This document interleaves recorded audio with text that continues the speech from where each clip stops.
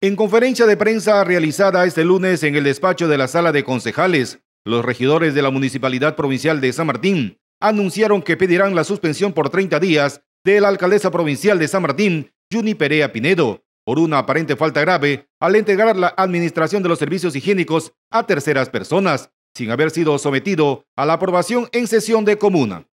Solamente tienen cuatro meses de adjudicación, que quiere decir de julio, agosto, septiembre, octubre, noviembre más tardar debería terminar su administración de los mercados. Recién del 2023. Ahora, recién en enero, ¿no? a partir de enero del 2024 se hace cargo de los servicios higiénicos de los mercados 2 y 3 la señora Magali del Águila Rodríguez y el señor Alejandro González Peso. Nos indican tácitamente, los funcionarios de aquel periodo no emitieron documento alguno que adjudique dichos servicios higiénicos, por lo que no es posible adjuntar documento alguno de este periodo al presente informe. O sea, no nos están diciendo, lo que nos están diciendo es no hay ningún documento que se asigne a estos señores eh, la administración de los mercados en este caso los servicios higiénicos 2 y 3 de los mercados. Por lo tanto, nosotros, los regidores en pleno, eh, hemos indicado acá que ya vamos a presentar una solicitud de suspensión de la señora alcaldesa, porque no es posible, de acuerdo al, inciso al artículo 24, inciso G, numeral 7 del RIC, del Reglamento Interno del Consejo, utilizar, disponer o dar una aplicación diferente a los bienes y recursos de la municipalidad en beneficio propio tercero que le han sido confiados. Eso es falta grave. Entonces, ahí nosotros, en conjunto con todos los regidores, vamos a presentar ante la Fiscalía una denuncia para que procedan conforme a ley con estas situaciones irregulares que nosotros como regidores tenemos que deslindar responsabilidades. Asimismo, Escudero Saavedra dijo que es preocupante que no haya documentos de la adjudicación de los servicios higiénicos de los mercados número 2 y 3. Como fiscalizadores, se ven en la obligación de denunciar estos hechos ante las autoridades competentes y como medida complementaria realizar acciones políticas. Reunidos el día de hoy en esta conferencia de prensa que para nosotros es importante y espero que también para la colectividad y dar a conocer un hecho muy preocupante y lamentable porque nosotros como regidores siempre hemos hecho nuestra labor de fiscalización. Ahora, sin embargo, había temas que en el ánimo de no proporcionarnos información siempre nos han estado haciendo obstáculos. Y creo que el día de hoy ya tenemos una respuesta concreta sobre el tema del mercado.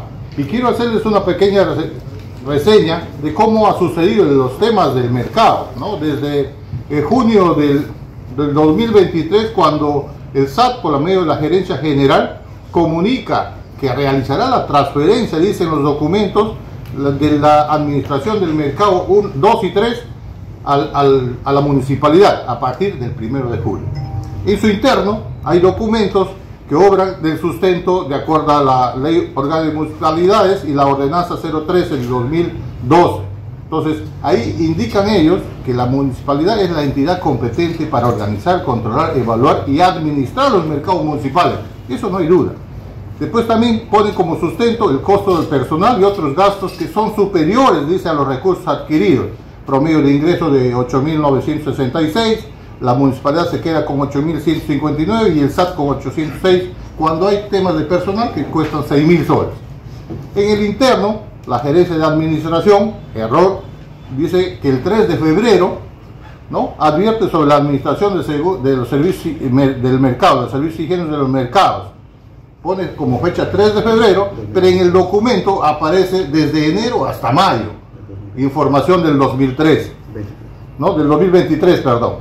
Después la oficina de tesorería, el 26 de junio, recibe un documento para que informe sobre estos temas y efectivamente es tan rápido que el mismo 26 hace todo su informe, igualito la oficina de contabilidad diciendo que no es rentable el tema de los mercados y por lo tanto ellos entregan a la municipalidad esta administración y de recaudación.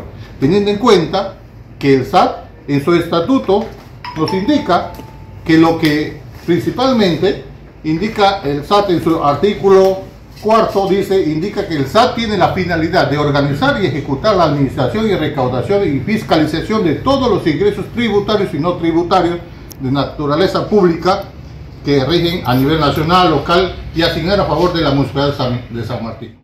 Por su parte, la primera regidora, Blanca Gómez, indicó estar decepcionada de cómo la alcaldesa viene manejando la comuna provincial.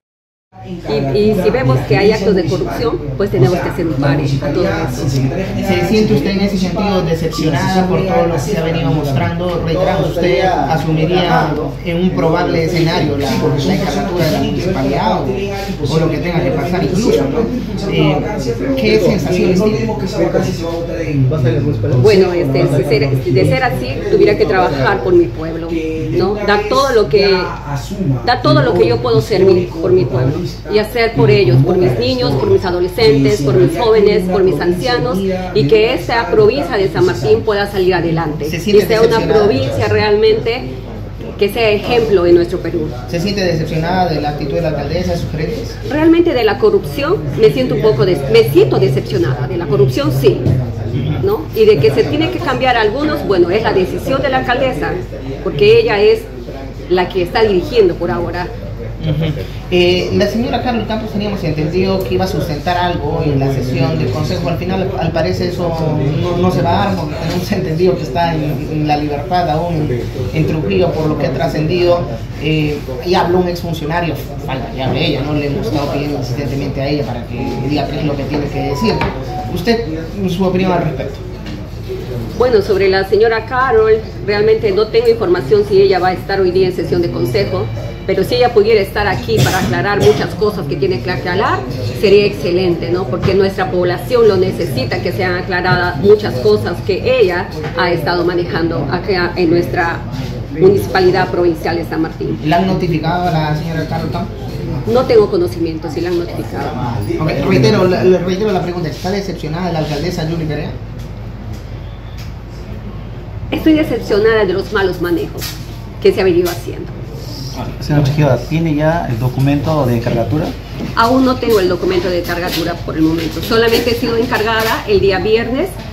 O sea, ahorita está en Céfalas la, la, municipalidad, no hay No, no hay encargatura por el momento. Finalmente, Joao Alfaro Soriano, regidor municipal, manifestó que ningún regidor de la Municipalidad Provincial de San Martín retrocederá. Todos votarán por la suspensión de Juni Perea. Pero hay, pero hay un, hay una, hay un pedido de este tema que ahí va a ir el pedido, ¿no? De, la comisión y todo lo demás. En el caso de que se anuncie en los próximos días que va a ingresar una solicitud de vacancia para la señora alcaldesa, ¿ustedes eh, van a mantener su posición unidas?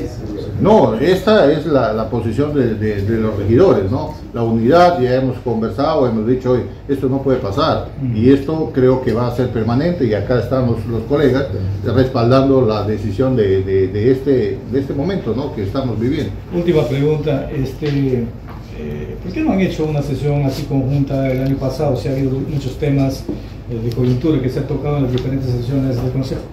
Creo que ya hemos eh, indicado que la voluntad nuestra también era sacar adelante la gestión, colaborar en lo máximo que se pueda y los temas que hemos tenido que fiscalizar lo hemos hecho y ahora pues son temas ya que tenemos mucha certeza de lo que está pasando y tenemos que evidenciar con este tipo de denuncias. Yo soy regidor oficialista, soy el número 2 de la lista, pero yo desde el día 8 de enero inicié con mis procedimientos de fiscalización y de repente por ese motivo yo no me he mantenido nunca cercano a la titular del pliego porque en ningún momento he dejado de evidenciar sesión a sesión todas estas malas prácticas.